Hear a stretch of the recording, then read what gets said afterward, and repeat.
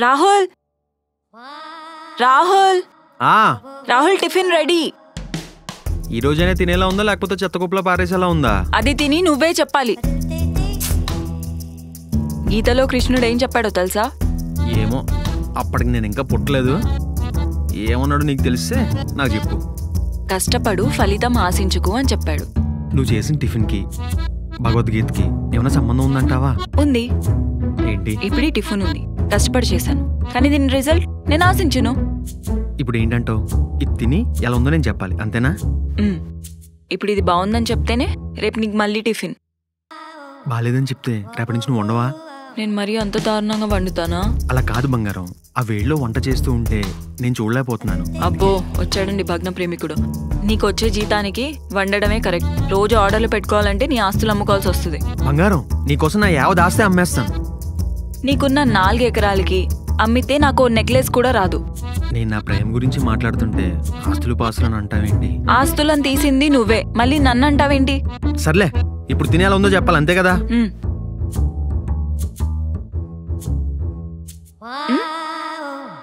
అబ్బా ఎంత బాగుందో తెలుసా?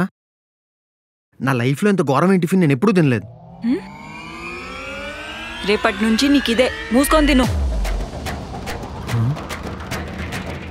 ఒక్కరోజు తినడానికి దోలు తీరిపోయింది. రేపటి నుంచి ఇదే తినాలా?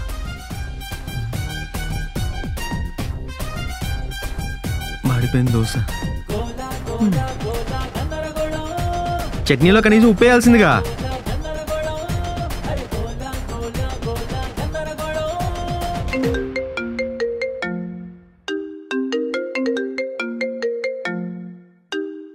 చెప్పమ్మా. అల్లుడు గారు బాగున్నారా? ఆయనకి హీరోలా ఉన్నాడు. ఇంకా ఇలానే ఉంటారా? పిల్లల గురించి ఆలోచిస్తారా? నేనే చిన్నపిల్లలా ఉన్నాను. మళ్ళీ మనకు పిల్లలు ఎందుకు అంటున్నాడమ్మా రాహుల్? అమ్మో మొగుడిని అలా పేరు పెట్టి పిలవచ్చా? పేరు పెట్టింది పిలవడానికే కదమ్మా. అందరూ వేరు. నువ్వు వేరు. అలా పిలవకూడదు. అంజలి? అంజలి? ఏంటిది? షర్ట్ కనబడట్లేదా? షర్ట్ గురించి అడగట్లేదు. దాని మీద ఉన్న బొక్క గురించి అడుగుతున్నా. అమ్మ నేను మళ్ళీ ఫోన్ చేస్తా. అది సారీ రాహుల్ మమ్మీ ఫోన్ రాగానే. మీ అమ్మ ఫోన్ వస్తే చాలు. ఈ లోకాన్ని మర్చిపోతావే ఏంటి ఇష్టం వచ్చినట్టు మాట్లాడుతున్నావు? మాట్లాడొద్దు అనట్లే ఈ లోకంలో ఉండి మాట్లాడు అని అంటున్నా. చాలా ఓవర్గా మాట్లాడుతున్నావు రాహుల్. చేసినంత చేసి ఇప్పుడు నేను ఓవర్గా మాట్లాడుతున్నానా? ఇప్పటిదాకా డజన్ షర్ట్లు బొక్క పెట్టావు. చిచ్చి షర్ట్ షర్ట్ అని చచ్చిపోతున్నాడు పెద్ద. నువ్వు చేసేది కనపడదు కానీ నేను అరిచేది మాత్రం కనిపిస్తుంది.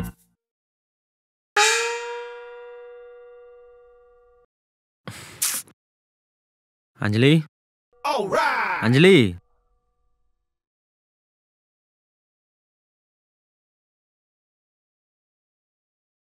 సారీ అంజలి. నేనేవి కావాలని తిట్టలేదు. అంటే అది నా ఫేవరెట్ షర్ట్. ఏదో కోపంలో అరిచేశాను అంతే. అంటే నాకంటే ఆ షర్టే ఎక్కువైపోయిందా? అలా అని కాదు. అయన్ బాక్స్ ఎంత జాగ్రత్తగా ఉండాలి. పొరపాటున షార్ట్ సర్క్యూట్ లాంటిది అయితే చాలా డేంజర్ కదా. ఏదో కోపంలో అరిచేశాను అంజలి. సారీ రాహుల్. తప్పు నాదే అయినా ఎక్కువగా ఆర్గ్యూ చేశాను. మనలో మనకు సారీ లేంటి అంజలి. కదా? అయితే నా సారీ నాకు రిటర్న్ చేసే.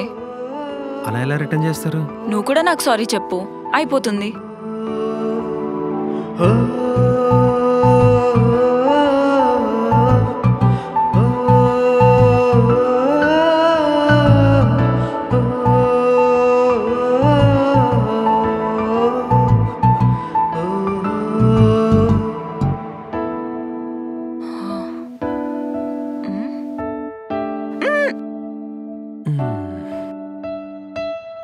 ఇప్పుడు అలా హారర్ మూవీస్ చూడటం ఎందుకు?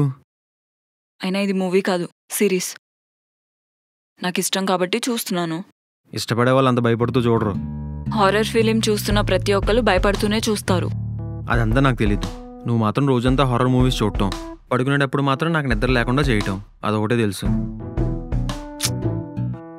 నేను మూవీ చూసిన ప్రతిసారి ఫాస్ట్గానే కదా రాహుల్ పడుకుంటాను. అదే నేను చెప్తున్నా నువ్వు ఫాస్ట్గానే పడుకుంటావు. కానీ నన్ను మాత్రం పడుకోనివ్వవు నీ అరుపులకి.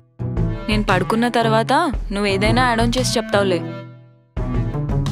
నీకు ప్రూఫ్ కావాలి అంతే కదా. హారర్ మూవీస్ చూసిన ప్రతిసారి నీకు నైట్ దెయ్యం కళ్ళు వస్తాయి కదా? అవును రాహుల్ అందులో నేను ఇన్వాల్వ్ అయినట్టు వస్తుంది. నువ్వు ఇన్వాల్వ్ అయ్యి నాకు నిద్ర లేకుండా చేస్తున్నావు. నువ్వేమో ప్రశాంతంగా బాగానే పడుకుంటావు రాత్రి అంతా నాకు మాత్రం నిద్ర లేక కళ్ళు ఎర్రగా ఆఫీస్కి వెళ్తే ప్రతి ఒక్కరు నైట్ డ్యూటీ చేసామని డబుల్ మీనింగ్తో మాట్లాడుతుంటాడు వాళ్ళకి చెప్పలేను కదా నీ దగ్గర వాచ్మెన్ డ్యూటీ చేస్తున్నానని చెప్పి. లీక్ ఎవడు కదలాడు రాసుకుంటూ ఉంటాడు. ఏదైతేనే నువ్వు హ్యాపీయేగా ఇదిగో ఇప్పుడు ఈ సిరీస్ ఆపుతావా ఆపవా? అబ్బా ఏం రాహుల్? ఆఫ్ చేయకపోతే? నీకు దండం పెడతాను. ఆపేవా త్వరగా పడుకుందో. ప్లీజ్ ఆ, పద.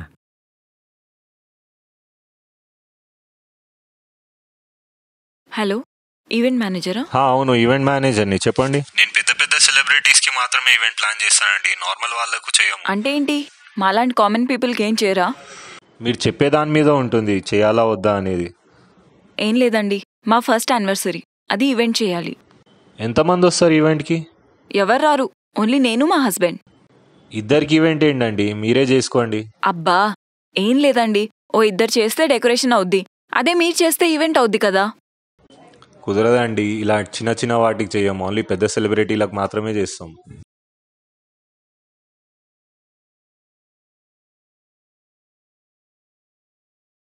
Hello sir. సిద్ధు ఒక ప్రాజెక్ట్ టేకప్ చేయాలి.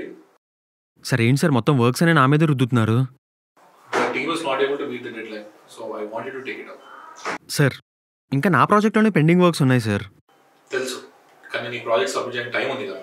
సో టేక్ ఇట్ అప్ ఏంటి సార్ చేసేది? నా ప్రాజెక్ట్ కంప్లీట్ చేసి నేనేదో బ్రేక్ తీసుకుందాం అనుకుంటే ఇప్పుడు వేరే ప్రాజెక్ట్ అసైన్ చేస్తారేంటి నాకు? రాహుల్ నేను నేను రిక్వెస్ట్ చేయట్లేదు. ఇట్స్ అన్ ఆర్డర్ అలా కాదు సార్ ఒకసారి నేను చెప్పేది వినండి sir. Get the work done that's it no more works sir అలా కాదు సార్. సార్.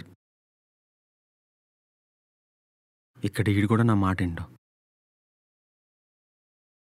బా అడిగిందే ఎన్నిసార్లు అడుగుతారండి. మా బడ్జెట్లో మా ఇద్దరికి ఈవెంట్ చేసి పెట్టాలి. అంతే. కుదరదండి. అంజలి నీకు ఎన్నిసార్లు చెప్పాను ఫోన్ మాట్లాడుతున్నప్పుడు వేరే పని పెట్టుకోవద్దని చెప్పి. ఇప్పుడు ఏమైంది రాహుల్? మాడిపోయింది. రాహుల్ నీకు ఎన్నిసార్లు చెప్పాను కిచెన్లోకి రావద్దని? చూడు చెమటలు పట్టేసే. పద పద. ఓవరాక్షన్ చేయకు. నేను మాట్లాడుతున్న కూర గురించి. నీకు వంద సార్లు చెప్పాను. ఫోన్ మాట్లాడుతున్నప్పుడు వేరే పని పెట్టుకోవద్దని చెప్పి. ఒకసారి కూడా నా మాట వినవా? ఏదో రోజంతా నువ్వు నా మాట వింటున్నట్టు. నేనెందుకు నీ మాట వినాలి? ఆహా మరి నేనెందుకు నీ మాట వినాలి? నువ్వు నా వైఫ్ కాబట్టి. ఆ మెయిల్ డామినేషన్ ఈ ఓవరాక్షన్ ఎక్కడైనా చెయ్యి నా దగ్గర కాదు.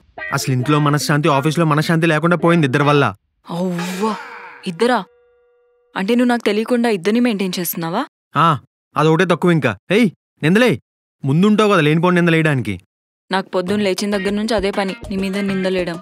ఆయన నీతో మాట్లాడిన ఒకటి ఆ గోడతో మాట్లాడిన ఒకటే నాది కూడా సేమ్ ఫీలింగ్.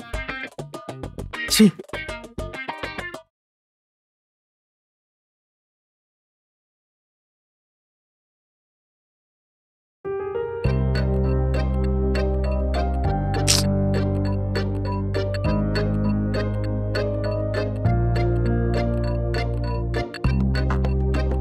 పాపం రాహుల్. అనవసరంగా ఆర్గ్యూ చేశాను. కాల్ చేద్దాం.